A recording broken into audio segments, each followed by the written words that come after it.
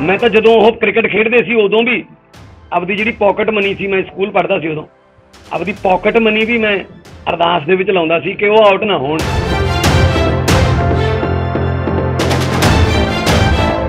ਜੇ ਉਹ ਪੰਜਾਬ ਦਾ ਸੱਚੀ ਮੁੱਚੀ ਭਲਾ ਚਾਹੁੰਦੇ ਨੇ ਆਮ ਆਦਮੀ ਪਾਰਟੀ ਚਾਹਣ ਫੁੱਲਾਂ ਦਾ ਬੁੱਕੇ ਲੈ ਕੇ ਸਭ ਤੋਂ ਪਹਿਲਾਂ ਮੈਂ ਖੜੂੰਗਾ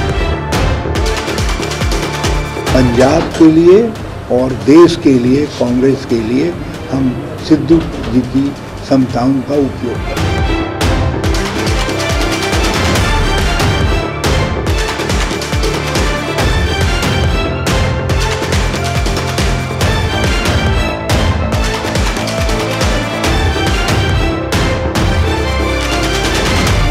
ਸਤਿ ਸ਼੍ਰੀ ਅਕਾਲ ਮੈਂ ਹਾਂ ਤੁਹਾਡੇ ਨਾਲ ਪ੍ਰਕਾਸ਼ ਫੁਲਾਰਾ ਤੇ ਤੁਸੀਂ ਵੇਖ ਰਹੇ ਹੋ ਸਕਾਈ ਨਿਊਜ਼ ਪੰਜਾਬ ਨਵਜੋਤ ਸਿੰਘ ਸਿੱਧੂ ਨੂੰ ਮਨਾਉਣ ਦੀਆਂ ਕੋਸ਼ਿਸ਼ਾਂ ਤੇਜ਼ ਹੋ ਗਈਆਂ ਹਨ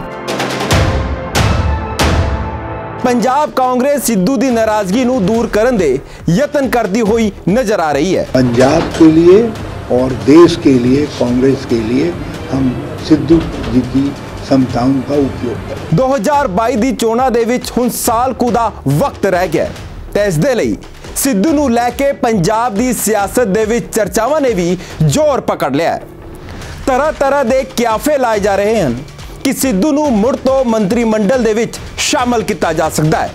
ਜਾਂ ਫਿਰ ਕੋਈ ਹੋਰ ਵੱਡੀ ਜ਼ਿੰਮੇਵਾਰੀ ਵੀ ਪੰਜਾਬ ਕਾਂਗਰਸ ਦੇ ਵੱਲੋਂ ਸਿੱਧੂ ਨੂੰ ਦਿੱਤੀ ਜਾ ਸਕਦੀ ਹੈ।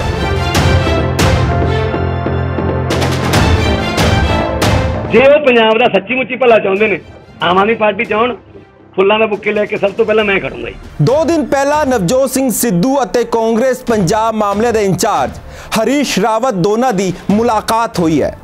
ਪੰਜਾਬ ਭਵਨ ਵਿੱਚ ਦੋਹਾਂ ਆਗੂਆਂ ਨੇ ਬ੍ਰੇਕਫਾਸਟ ਕੀਤਾ ਅਤੇ ਅੱਗੇ ਦੀ ਪਲਾਨਿੰਗ ਤੇ ਵੀ ਚਰਚਾ ਹੋਈ ਹੈ। ਸੂਤਰਾਂ ਦੇ ਹਵਾਲੇ ਤੋਂ ਇਹ ਖਬਰ ਹੁਣ ਨਿਕਲ ਕੇ ਸਾਹਮਣੇ ਆ ਰਹੀ ਹੈ ਕਿ ਇਸ ਮੁਲਾਕਾਤ ਦੇ ਦੌਰਾਨ ਨਵਜੋਤ ਸਿੰਘ ਸਿੱਧੂ ਨੇ ਖੁਦ ਨੂੰ ਪੰਜਾਬ ਕਾਂਗਰਸ ਪ੍ਰਧਾਨ ਬਣਾਉਣ ਦੀ ਗੱਲ ਆਖੀ ਹੈ ਜਾਂ ਫਿਰ ਪੁਰਾਣਾ ਮਹਿਕਮਾ ਯਾਨੀ ਕਿ ਸਥਾਨਕ ਮਹਿਕਮਾ ਵਾਲਾ ਵਿਭਾਗ ਦੇਣ ਦੀ ਮੰਗ ਕੀਤੀ ਹੈ। ਸੀਐਮ ਕੈਪਟਨ ਅਮਰਿੰਦਰ ਸਿੰਘ ਨੇ ਵੀ ਸਿੱਧੂ ਤੋਂ ਲੋਕਲ ਬੋਡੀ ਵਿਭਾਗ ਪਹਿਲਾਂ ਵਾਪਸ ਲੈ ਲਿਆ ਸੀ। ਕੈਪਟਨ ਅਮਰਿੰਦਰ ਸਿੰਘ ਸਿੱਧੂ ਨੂੰ ਬਿਜਲੀ ਮੰਤਰੀ ਹੀ ਲਾਉਣਾ ਚਾਹੁੰਦੇ ਹਨ। ਇਹੋ ਜਿਹੇ ਹਾਲਾਤਾਂ ਦੇ ਵਿੱਚ ਨਵਜੋਤ ਸਿੰਘ ਸਿੱਧੂ ਅਤੇ ਹਰੀਸ਼ ਰਾਵਤ ਵਿਚਕਾਰ ਹੋਈ ਗੱਲਬਾਤ ਨੂੰ ਫਿਲਹਾਲ ਕਿਸੇ ਵੀ ਤੌਰ ਦੇ ਵਿੱਚ ਜਨਤਕ ਨਹੀਂ ਕੀਤਾ ਗਿਆ ਹੈ।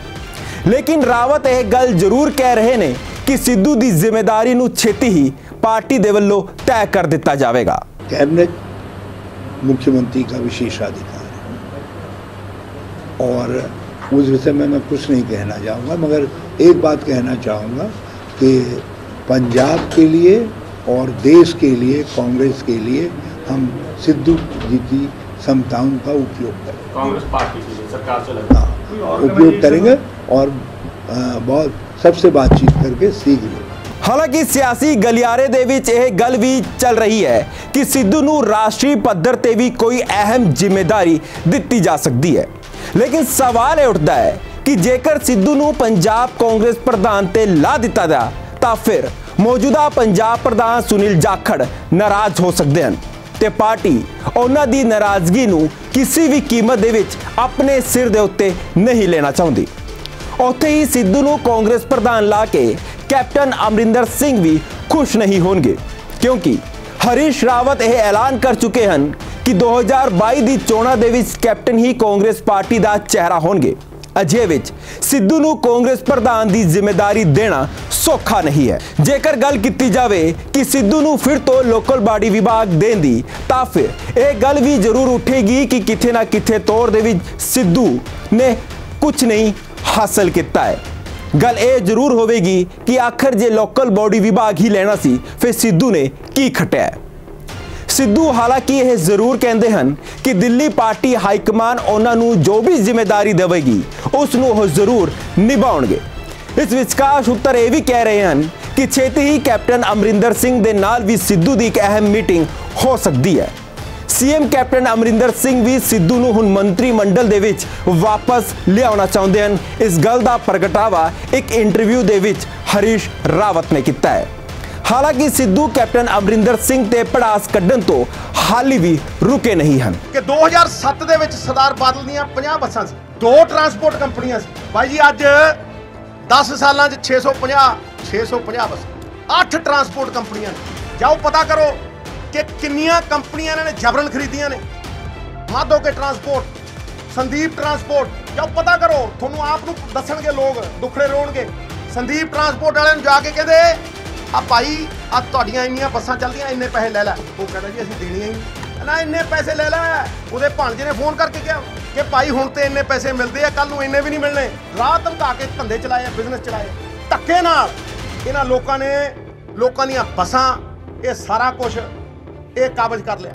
ਭਾਜੀ, ਇਹ ਜਿਹਾ ਬਿਜ਼ਨਸ ਪੰਜਾਬੀਆਂ ਨੂੰ ਸਿਖਾ ਦਿੰਦੇ, ਲੈ ਪੰਜਾਬੀ ਤੇ ਤਰ ਜਾਂਦੇ। ਸੰਕੇਤ ਇਸ ਗੱਲ ਤੋਂ ਮਿਲਦੇ ਹਨ ਕਿ ਸਿੱਧੂ ਇਸ ਵਾਰ ਪੰਜਾਬ ਵਿਧਾਨ ਸਭਾ ਦੇ ਬਜਟ ਇਜਲਾਸ ਵਿੱਚ ਪੂਰਾ ਸਮਾਂ ਹਾਜ਼ਰ ਰਹੇ ਹਨ। ਲੇਕਿਨ ਹਰੀਸ਼ ਰਾਵਤ ਵੱਲੋਂ ਇਹ ਗੱਲ ਜਨਤਕ ਕਰ ਦੇਣੀ ਕਿ 2022 ਦੀ ਚੋਣਾਂ ਦੇ ਵਿੱਚ ਚਿਹਰਾ ਕੈਪਟਨ ਹੀ ਹੋਣਗੇ, ਕਿੱਥੇ ਨਾ ਕਿਤੇ ਇਹ ਗੱਲ ਕਰਦਿਆਂ ਸਿੱਧੂ ਨੂੰ ਨਜ਼ਰਅੰਦਾਜ਼ ਕੀਤਾ ਗਿਆ ਹੈ। ਕਿੰਨਾ ਕਰਜ਼ਾ ਸੀ ਪੰਜਾਬ ਦੇ ਸਿਰ ਦੇ ਉੱਤੇ? 1996 97 15250 ਕਰੋੜ। 2001 2 ਚ ਸਰਕਾਰ ਬਦਲੀ 32496 ਕਰੋੜ। 2006-7 ਦੇ ਵਿੱਚ ਸਰਕਾਰ ਬਦਲੀ ਔਰ ਅਲ- ਅਕਾਲੀ ਸਰਕਾਰ ਜਦੋਂ ਆਈ ਹੈ, ਅਕਾਲੀ ਭਾਜਪਾ ਸਰਕਾਰ 2007 ਦੇ ਵਿੱਚ ਆਈ ਹੈ 48344 ਕਰੋੜ। 2007 ਤੋਂ ਲੈ ਕੇ 2017 ਤੱਕ 10 ਸਾਲਾਂ ਦੇ ਵਿੱਚ 1.5 ਲੱਖ ਕਰੋੜ ਕਰਜ਼ਾ ਚੜ੍ਹ 1 ਲੱਖ 87 ਹਜ਼ਾਰ crore today, the estimates, the budgetary estimates of this year is 2 lakh 48000 crores. Can you beat it? Sidhu ਦੀ ਨਾਰਾਜ਼ਗੀ ਸਮੇਂ-ਸਮੇਂ ਤੇ ਵੇਖੀ ਗਈ ਹੈ। ਸਥਾਨਕ ਚੋਣਾਂ ਦੇ ਵਿੱਚ ਕਾਂਗਰਸ ਦੀ ਵੱਡੀ ਜਿੱਤ ਤੇ ਵੀ ਸਿੱਧੂ ਨੇ ਆਪਣੇ ਮੂੰਹ ਤੋਂ ਵਧਾਈ ਦਾ ਇੱਕ ਸ਼ਬਦ ਵੀ ਨਹੀਂ ਕੱਢਿਆ। ਹਾਲਾਂਕਿ ਸਿੱਧੂ ਦੇ ਲਈ ਆਮ ਆਦਮੀ ਪਾਰਟੀ ਨੇ ਆਪਣੇ ਦਰਵਾਜ਼ੇ ਖੋਲ ਦਿੱਤੇ ਹਨ। ਆਮ ਆਦਮੀ ਪਾਰਟੀ ਦੇ ਸਾਂਸਦ ਭਗਵਤ ਮਾਨ ਨੇ ਸਿੱਧੂ ਨੂੰ ਪਾਰਟੀ ਦੇ ਵਿੱਚ ਸ਼ਾਮਲ ਹੋਣ ਦਾ ਨਿਯੋਤਾ ਦੇ ਦਿੱਤਾ ਹੈ। ਮੈਂ ਤਾਂ ਜਦੋਂ ਉਹ ਕ੍ਰਿਕਟ ਖੇਡਦੇ ਸੀ, ਉਦੋਂ ਵੀ ਆਪਦੀ ਜਿਹੜੀ ਪਾਕਟ ਮਨੀ ਸੀ, ਮੈਂ ਸਕੂਲ ਪੜ੍ਹਦਾ ਸੀ ਉਦੋਂ। ਆਪਦੀ ਪਾਕਟ ਮਨੀ ਵੀ ਮੈਂ ਅਰਦਾਸ ਦੇ ਵਿੱਚ ਲਾਉਂਦਾ ਸੀ ਕਿ ਉਹ ਆਊਟ ਨਾ ਹੋਣ। ਤੇ ਜਦੋਂ ਆਊਟ ਹੋ ਜਾਂਦੇ ਸੀ, ਮੈਂ ਟੀਵੀ ਬੰਦ ਕਰ ਦਿੰਦਾ ਸੀ। ਤੇ ਹੁਣ ਵੀ ਮੈਂ ਕਹਿਣਾ ਕਿ ਰਾਜਨੀਤੀ ਚ ਆਊਟ ਨਾ ਹੋਣ। ਉਧਰ ਕਾਂਗਰਸ ਦਾ ਵੱਡਾ ਖੂਹ ਹੈ ਜੇ, ਉੱਥੇ ਤਾਂ ਉੱਥੇ ਕਿਤੇ ਲਾਸ਼ਾਂ ਤੇ ਹੁੰਦੀਆਂ। ਜੇ ਉਹ ਪੰਜਾਬ ਦਾ ਸੱਚੀ ਮੁੱਚੀ ਭਲਾ ਚਾਹੁੰਦੇ ਨੇ, ਆਮ ਆਦਮੀ ਪਾਰਟੀ ਚਾਹਣ ਫੁੱਲਾਂ ਦਾ ਬੁੱਕੇ ਲੈ ਕੇ ਸਭ ਤੋਂ ਪਹਿਲਾਂ ਮੈਂ ਖੜੂੰਗਾ ਜੀ। ਵੈਲਕਮ, ਮੇਰੇ ਤਾਂ ਜੱਜ ਰਹੇ ਨੇ ਲਾਫਟਰ ਚੈਲੰਜ ਪ੍ਰੋਗਰਾਮ ਦੇ ਵਿੱਚ। ਜੱਜ ਰਹੇ ਨੇ। ਸੋ ਮੈਂ ਮੈਂ ਉਹਨਾਂ ਦਾ ਮੁਕਾਬਲਾ ਥੋੜੀ ਕਰ ਸਕਦਾ। ਨਾ ਮੈਂ ਉਹਨਾਂ ਦਾ ਕੰਪੀਟੀਟਰ ਬਣ ਸਕਦਾ। ਮੈਂ ਛੋਟਾ ਉਹਨਾਂ ਤੋਂ। ਹਾਲਾਂਕਿ ਇਹਨਾਂ ਸਭਨਾਂ ਦੇ ਵਿਚਕਾਰ ਇਹ ਗੱਲ ਵੀ ਲੰਬੇ ਸਮੇਂ ਤੋਂ ਚੱਲ ਰਹੀ ਹੈ ਕਿ 13 ਅਪ੍ਰੈਲ ਨੂੰ ਵਿਸਾਖੀ ਵਾਲੇ ਦਿਨ ਸਿੱਧੂ ਤੇ ਉਹਨਾਂ ਦੇ ਪੱਖ ਵਿੱਚ ਵਿਧਾਇਕ ਇੱਕ ਮੰਚ ਦੇ ਵਿੱਚ ਇਕੱਠੇ ਹੋ ਸਕਦੇ ਹਨ।